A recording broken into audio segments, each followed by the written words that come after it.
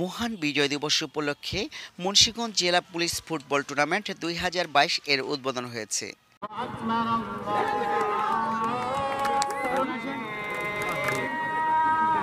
জেলা পুলিশের আয়োজনে শুক্রবার বিকাল তিনটায় সিরাজদি খান উপজেলার কুসুমপুর জাগরণী সংসদ মাঠে শান্তির প্রতীক পায়রা ও বেলুন উড়িয়ে টুর্নামেন্টের উদ্বোধন করেন অনুষ্ঠানের প্রধান অতিথি বাংলাদেশ পুলিশ সদর দপ্তর ঢাকার অতিরিক্ত আইজি ব্যারিস্টার মোহাম্মদ হারুনুর রশিদ। মুন্সিগঞ্জ জেলা পুলিশ সুপার মোহাম্মদ মাহফুজুর রহমান আল মামুনের সভাপতিত্বে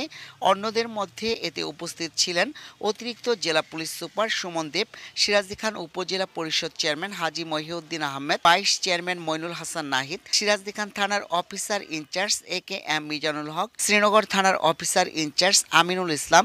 Munshiganj পৌরসভার councillor Nargis Akter, Isapura UP chairman Suman Mia, Latubdi UP chairman Hafiz Mohammad Fazlul Haque, Rasunia UP chairman advocate Abu Saeed, Kola UP chairman Saiful Islam Mintu, Kusumpur Jagoroni সংসদের সভাপতি ওহিদুল ইসলাম খোকা, সাধারণ সম্পাদক কবির হোসেন সহ আরও অনেকে। উদ্বোধনীয় খেলার রাইজিং স্টার শ্রীনগর থানা দল ও ড্রিম টাচ সিরাজদিখান থানা দল অংশ নেয়। ষাট মিনিটের নির্ধারিত সময়সীমা শেষ হলে